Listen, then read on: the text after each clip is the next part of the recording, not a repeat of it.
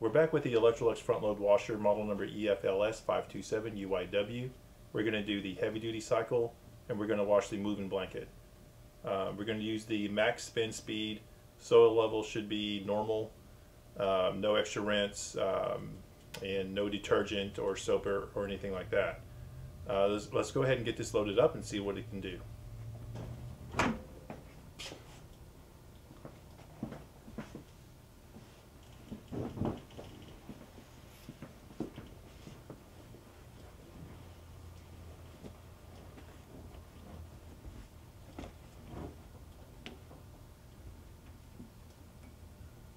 Okay.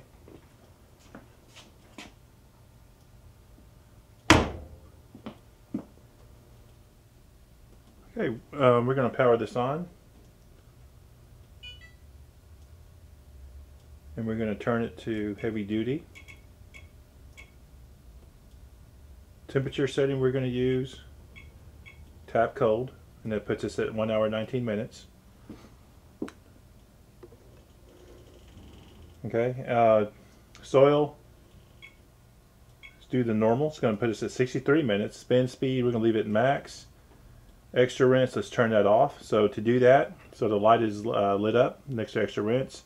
So you hit the options button, and it'll start, and then it'll start to blink, and you just kind of move it. Let's see, no. Oh, I screwed that up. Okay, so you keep on hitting the options button until you get to the one that you want to blink. And once it starts blinking, you can turn it on or off. Okay, there it goes. So if we want to use the pod dispenser, we, we hit this, we select this button here. It turns on. Um, and what it does, it adds more time to the, to the uh, wash cycle. So if we select pods, it says 63 minutes. If we uh, turn it off, if you want to use regular detergent, it goes down to 58 minutes. Okay. So let's go ahead and get uh, the camera into position. We'll hit start.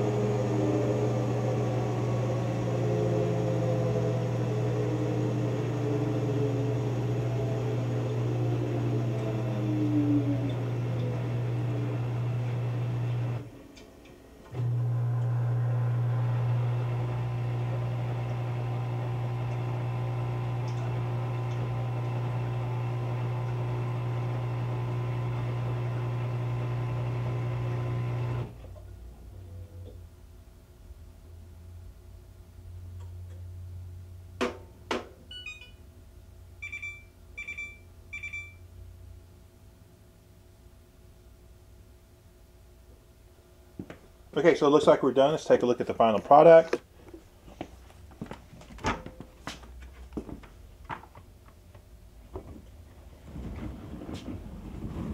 All right, so uh, I think the spin dry was perfect. It did a good job. Um, we might do a two blanket test on this one. I think you can handle two blankets pretty easily. I think we've done that before in the past with the last year's model, so we'll we'll try it again on this year's model. Anyway, thanks for watching. Take care. We'll see you.